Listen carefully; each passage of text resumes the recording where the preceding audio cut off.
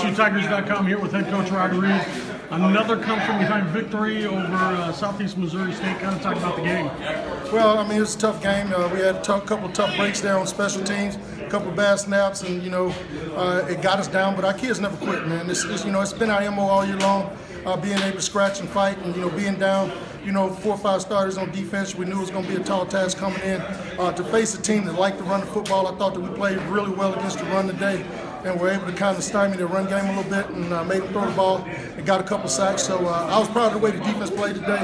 But uh, offensively, man, we drove the ball down the field all day long. Uh, our big playmakers made big plays all day. And, uh, you know, uh, Eric Evans was out this game and um, Earl Harrison, I mean, picked up the slack. He had a big day today, and I was really proud of the way he just stepped up at a minute's notice uh, to be able to go in there and take the charge.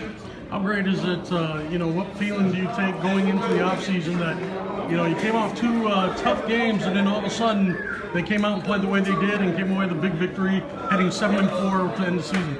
Well, I mean, it's always uh, good to go into the offseason on the uptick you know, with guys coming in with a, with a sweet taste in their mouth, you know, to get that bitter taste out of the last couple of weeks. And uh, But I, it's great for our guys, it's great for our seniors to go out with a winning record in the conference as well as a winning record overall. So uh, I was really proud of those guys. again to see, uh, you know, Ezra and Doctor get the Senior Bowl invites at the end of the game. It's a lot better doing that uh, invitation after the W.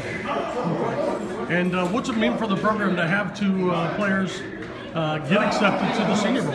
I mean, that's huge for any program to have at least one player accepted to the Senior Bowl. You know, for an FCS program to have two players uh, extending an invitation to the Senior Bowl uh, is great. Uh, it's great exposure for our university, and I think those guys will go and represent us well. All right, thanks, Coach.